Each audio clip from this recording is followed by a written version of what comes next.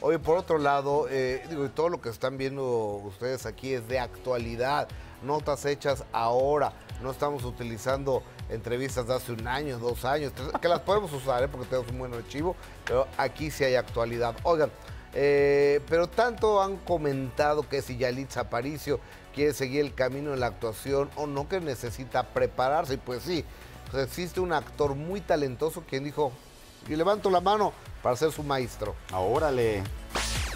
Luego del gran revuelo que ha causado la historia de Yalitza Aparicio, una mujer que recién había terminado su carrera para dedicarse a ser maestra y por obra del destino terminó siendo parte de la película Roma de Alfonso Cuarón y nominada como mejor actriz a los premios de la Academia, es ahora el maestro Luis Felipe Tobar quien le ofreció una beca a Yalitza en su escuela de actuación para que pueda continuar con su carrera. Yo le ofrezco becas a todos los que considero que tienen talento y que tienen, ganas de trascender en la vida. Por favor, que Yalitza llegue a la escuela, no sabes el empujón que me daría. Me la pondría en el mapa, mi vida. Llega cuando quieras, no sabes con los que he tenido que lidiar. Tú serías bienvenida, corazón. Aseguró que si la originaria de Oaxaca tiene el deseo de ser actriz, él mismo está dispuesto a prepararla para sus próximos proyectos. Ella está siendo muy rentable.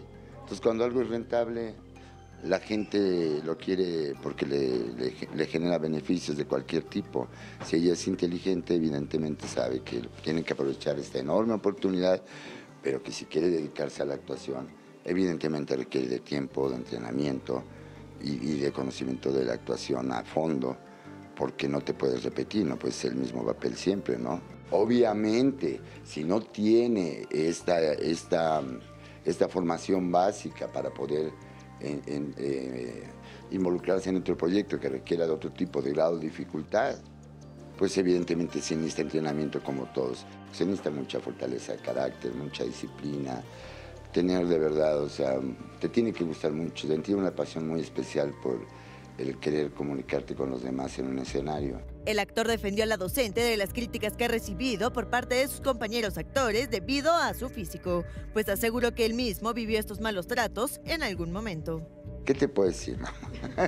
¿Qué te puedo decir? o sea, yo, yo he vivido la experiencia de que me han quitado, me han separado de proyectos por no estar dentro del estereotipo de belleza masculina. Pues la suerte de la fea, la bonita de ser, yo para empezar ni la veo feo, es un comentario muy ardido y muy envidioso, ¿no?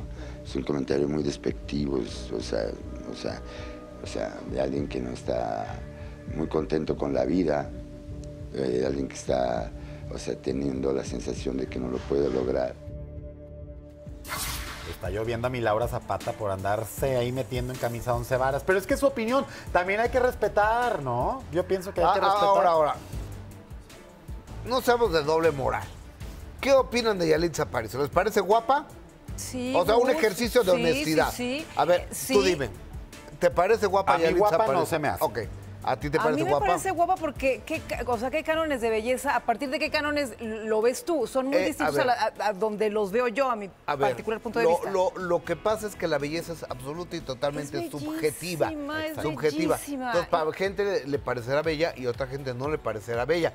Pero tampoco hay que ser tan hipócritas en esa sociedad porque ahora resulta que el que dice que Yalitza Aparicio no es bella, ya se le acabó todo mundo. Eh, eres un pinche vendepatrias y eres un canalla y eres un gandaya. Ahora, vamos siendo honestos. Todos somos en algún porcentaje indígenas en este país, afortunadamente. orgullosamente, Tenemos orgullosamente sangre indígena. Somos eh, producto, un pueblo de un mestizaje.